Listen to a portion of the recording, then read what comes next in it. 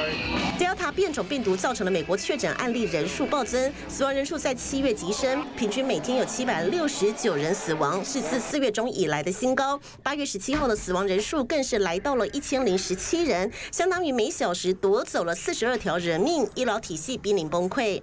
南部依旧是这一波疫情的核心热区。CDC 统计数据显示，佛罗里达州上周通报了近两万六千起的新病例，刷新纪录。由于最新数据显示，疫苗抗体量会随着时间下降。对 Delta 变异株感染的保护力较弱，因此 CDC 宣布从九月二十号开始，将对所有的成年人施打第三剂的疫苗，和第二剂的间隔时间必须要达到八个月。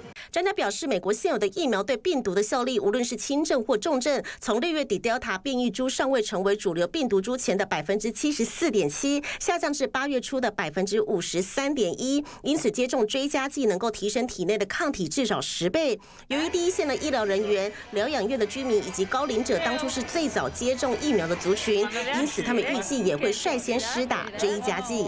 记者吴嘉贤报道。